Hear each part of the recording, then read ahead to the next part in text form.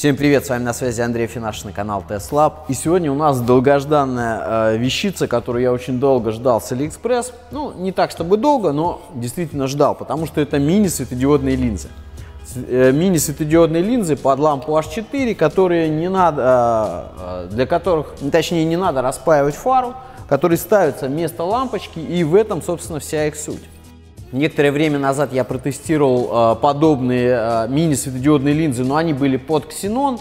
Сразу скажу, они меня не устроили по качеству, не устроили по э, освещенности, не устроили по своему исполнению. И вариант со светодиодами мне понравился гораздо больше. Сразу скажу, вот эту маленькую светодиодную линзу я протестировал на всех трех вот этих фарах.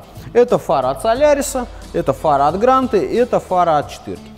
Светодиодные линзы пришли мне вот такой вот зеленой коробочки. В ней, в ней лежало вот это письмо на русском языке с благодарностью. В ней лежала одна перчатка. Что самое интересное, не две, а всего лишь одна. Ну да ладно. Одна значит одна. Я, если честно, чтобы поставить эту линзу, даже одну перчатку не использовал.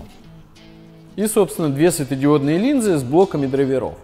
Если э, рассмотреть линзу повнимательнее, то мы увидим, что сверху у нее есть собственный отражатель, отражатель для ближнего света, и внутри увидим э, такой э, светодиод с тремя чипами, очень похожий на половинку от обычной светодиодной лампы, которую я уже часто тестировал.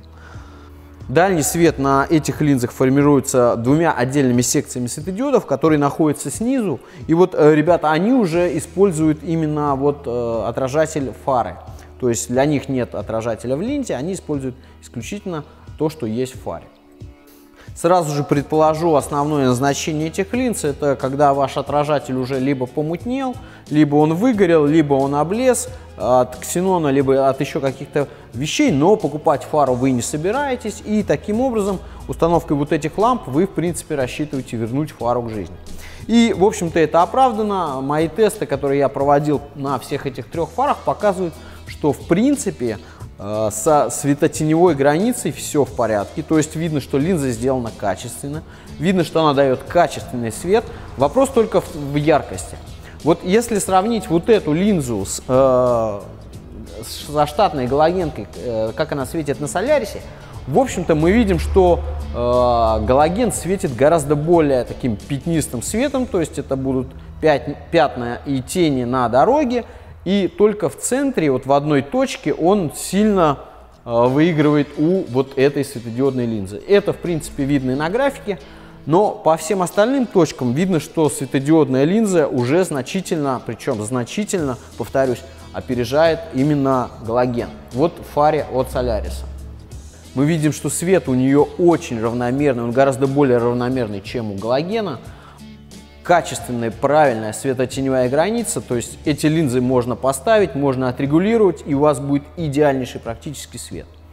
По моим замерам линза потребляет всего 14 ватт, это безусловно достаточно мало, это как плюс, так и минус. Плюс в том, что она практически не нагревается при работе, это я уже проверил.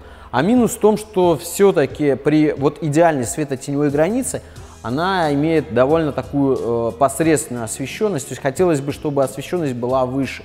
И тогда бы вот э, цены вот этой линзы вообще бы не было. То есть если бы она была в ватт не на 14, а хотя бы на 18, а в идеале на 20 ватт, то, ребят, я бы однозначно бы посоветовал выкидывать вот эти древние лампочки галогеновые H4 и ставить на их место вот такие линзы без разборки, без распайки фар.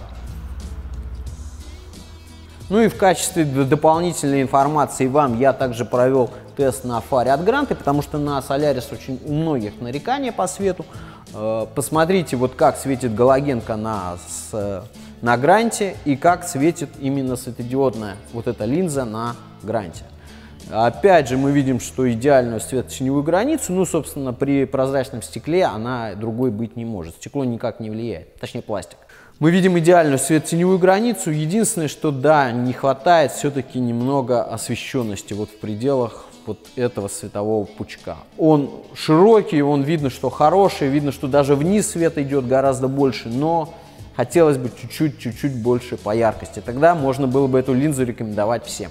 А так только отдельным категориям граждан, о которых будет чуть-чуть позже. Ну и, ребят, вы просили меня после поста в Инстаграме протестировать, как будет на фарах от семерки. Ну, семерки у меня нет фара, а вот от четырки есть, и она, собственно, вот с таким э, рассеивателем стеклянным. Поставил туда вот эту же светодиодную линзу, и, как мы видим, стекло, поскольку оно именно является рассеивателем, оно разбивает вот этот свет от линзы, и, грубо говоря, вывод какой? Данные линзы непригодны для фар, у которых стекло является именно рассеивателем. Для того, чтобы поставить его сюда, необходимо поменять вот это стекло на прозрачное. Но тогда вы уже никогда не поставите обычную галогенку, то есть теряется вот эта универсальность. Ну и давайте в финале выпуска поговорим, а для кого же все-таки вот эти линзы. Я вижу применение этих линз для автомобилей с японским-английским светом. Там тоже, чтобы не колхозить, не городить, проще поставить вот такую линзу, и вы получаете правильную светотеневую границу. Но опять же, да, заплатить за это придется все-таки не достаточно большой освещенностью. То есть ездить, безусловно, сможешь, но э, свет не будет дотягивать до характеристик, конечно, светодиодных линз трехдюймовых, э, которые я очень часто в данный момент ставлю. Там порядка 24 ватт, Э, э, дает э, мощность линзы. Здесь, повторюсь, 14. И вот очень бы хотелось, чтобы она была бы хотя бы 18, а лучше 20, повторюсь. Либо для тех, у кого света нет вообще, вот вообще, повторюсь, это выгоревший отражатель, облезший отражатель, такой очень часто бывает на девятых лансерах и вообще там, где использовался ксенон. Для них, да, это выход, это способ сэкономить, точнее не потратить деньги при на разборку фар, на их распайку, а просто поставить линзу и пользоваться, в общем-то, правильным и качественным светом.